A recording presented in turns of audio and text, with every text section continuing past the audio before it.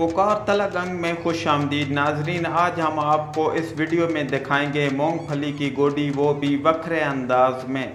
उस्ताद मोहम्मद नवाज़ farm पिचनान में बहुत से अफराद मूंगफली की गोडी करते आपको दिखाई दे रहे हैं।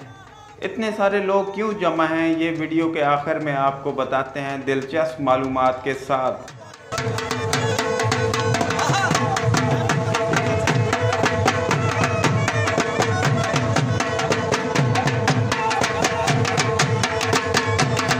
ਅਸਲਾਮ ਵਾਲੇਕੁਮ ਇਹ ਮੂੰਗਫਲੀ ਨਹੀਂ ਦੀ ਗੋਡੀ ਕਰਦੇ ਪਏ ਹਾਂ ਜੀ।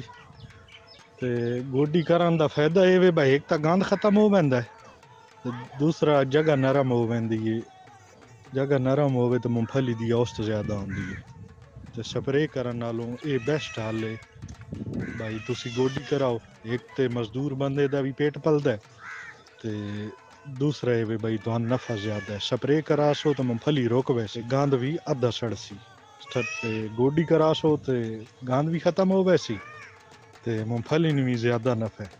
ਤੇ ਦੂਸਰਾ ਇੰਨੇ ਸਮਝੋ ਬਈ 20 ਬੰਦਿਆਂ ਦਾ ਘਰ ਚੱਲਸੀ ਚੁੱਲ੍ਹਾ ਚੱਲਸੀ ਸਪਰੇਅ ਜਿੱਥੋਂ ਲੈ ਸੋ ਤੇ ਇੱਕਾ ਬੰਦੇ ਦਾ ਤੇ ਕੰਪਨੀ ਵਾਲਿਆਂ ਦਾ ਨਫਾ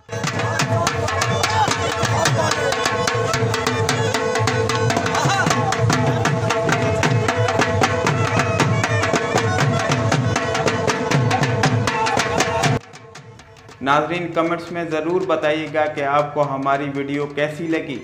वीडियो को अपने दोस्तों के साथ ज़रूर शेयर कीजिएगा।